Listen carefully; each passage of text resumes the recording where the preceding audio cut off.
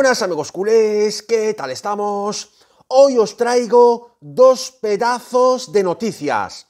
La primera es muy buena noticia, pero es que la segunda es brutal. Empezamos con la primera.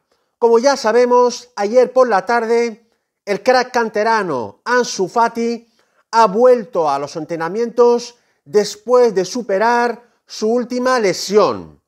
El chaval se siente bien, ya no tiene molestias y ya está entrenando perfectamente con sus compañeros del Barça. No va a jugar en el próximo partido del domingo de liga que tenemos contra el Sevilla, pero se espera que contra el Frankfurt del jueves en la Europa League pueda disputar sus primeros minutos después de su lesión. Sin lugar a dudas, es una grandísima noticia para todos los culés de todo el mundo.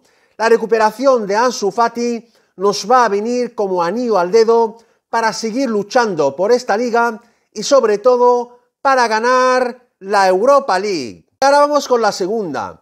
Es una brutal noticia. Es un auténtico bombazo de última hora. Atención, noticia bomba de última hora.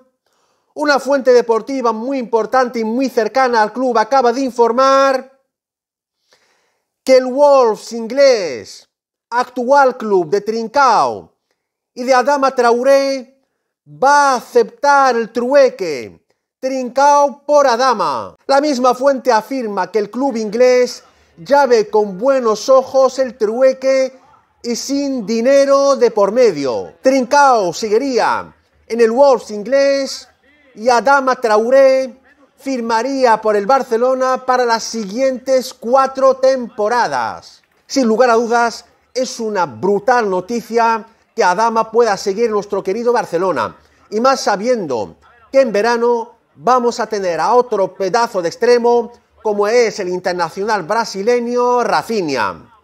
Esto ha sido mi grandísima noticia de hoy, amigos culés. No os olvidéis suscribirse a mi canal, que no os cuesta nada, pulsar un like como siempre y dejarme comentarios para cambiar opiniones.